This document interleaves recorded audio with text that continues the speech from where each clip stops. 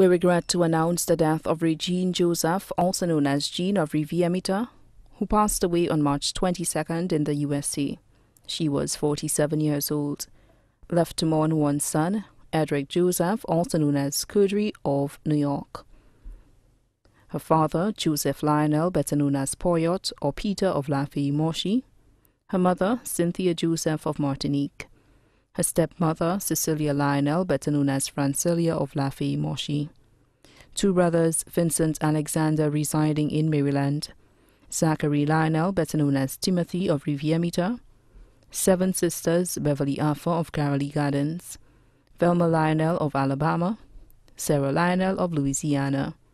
Sherman Lionel of New York, Mallister Lionel, better known as Duchy of Lafayette, Natasha Lionel, Earl of Maine, Cheryl Lionel of Lafayette, one adopted brother, Calix Antoine, better known as Harrigan of Riviera brothers-in-law Wayne Arthur of Carolee Gardens, Andrew Earl of Maine, one sister-in-law Sonia Alexander of Maryland, her uncle Frank Richelieu, better known as Mosley and family of England one niece, Cheyenne Nikila Lionel of New York, eight nephews, Darion John Baptist, Malik Lionel, Samuel Alexander, Zane Arthur, all of St. Lucia, Zachary Earl of Maine, Kendall and Kenton Johannes, and Sean Lionel of Alabama. Best friends Eugenia Pierre, Lilia Pierre, Sylvie St. Edward, Astra Henry, better known as Pixie, Victoria Norville, Tamara Paul, all of New York. Her goddaughter, Samara Gabu of New York. Also left to mourn, Paula St. Math and the Tiso family of Tito and Rivière-Mita and Queen. The Cherry family of Rivière-Mita.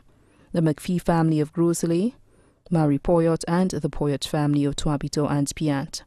The Richelieu families of Mongiroux, Istwins, Lacroix, Babonneau, Arundel Hill, Entrepot and Millet, Lindell Hyacinth of New York and the Hyacinth family of Mongiroux, Veronica Joseph, better known as Florence of New York, Frances Waterman of New York, Tennyson and Louisa Antoine and their families, all of England.